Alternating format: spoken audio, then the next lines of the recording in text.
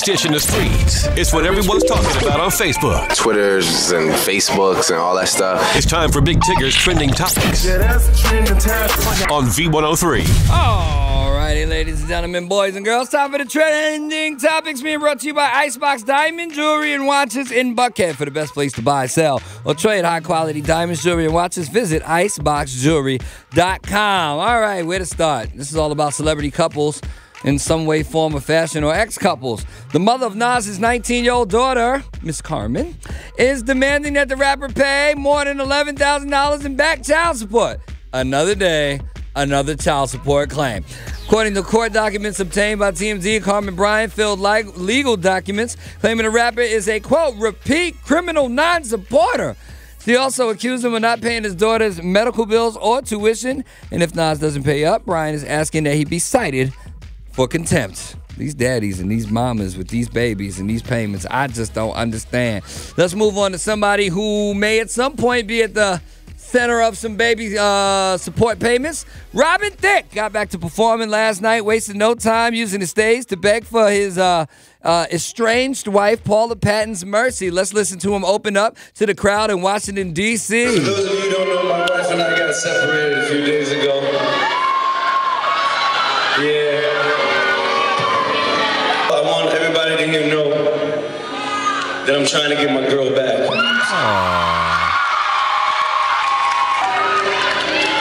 She's a good woman, you know. Oh, he also told fans he'd written the song Lost Without You for Paula before going into the song. He might literally be lost without her because somebody, even though we're not able to confirm it was him, sent a floral assault, floral assault to Paula Patton's Hollywood Hills home. She was inundated with gigantic, expensive floral arrangements yesterday, hours before Robin got on stage and told the audience he's trying to get his girl back. All right. And last but not least, uh, well, last celebrity couple, uh, Kim uh, Ye or Kanye and Kim Kardashian. You know they doing everything. Okay, I have a question, fellas. If somebody says I want to hire your fiance to be my guest of honor, to be my basically my arm candy at a ball in Vienna. You gonna let it happen? Well, Kanye let his woman, Kim Kardashian, be on the arm of an 83 year old, uh, excuse me, 81 year old Austrian businessman. I mean, she got paid a half a million dollars, but I'm saying this principality is involved. This principality. My wife ain't supposed to be on nobody else's arm. Unless it's in a movie or something like that.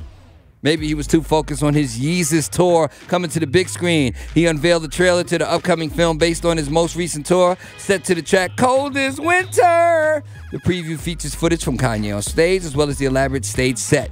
Music video Hype uh, Williams is directing the flick, which the website promises will appear in theaters. So far, no announced date. Uh, he wrapped up the second leg of the tour on Sunday and in May plans to hit Australia. You gonna pay your girl five hundred thousand dollars come to your show in Australia? That's crazy. Who does that? Apparently they do. Thanks for listening to the Trending Topics, people. Um, if you miss any part of this particular conversation, head on over to VDash103.com where you can not only listen to it in, in its entirety, you can see my, my baby ain't going nowhere with nobody 81 for a half a million dollars face. Okay, maybe we'll think about it. Big Tig with the three things you need to know up next right here on V103. The